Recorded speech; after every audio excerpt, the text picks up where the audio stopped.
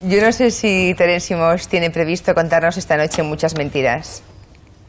Bueno, mm, las necesarias para entretener. ¿Qué hay de verdad en Terencio? ¿Cuál es el verdadero Terencio? Cautivador. Brillante. Seductor. Inolvidable. Encantador.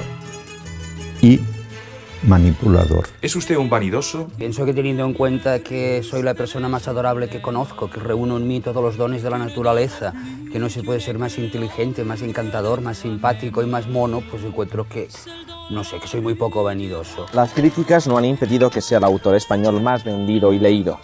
Terenci era una persona sedienta de fama, sedienta de atenciones constantes por parte de todo el mundo. Tu creus que sota aquesta cortina de fum amagues alguna cosa de la teva personalitat? Me criaron como un monstruo del amor.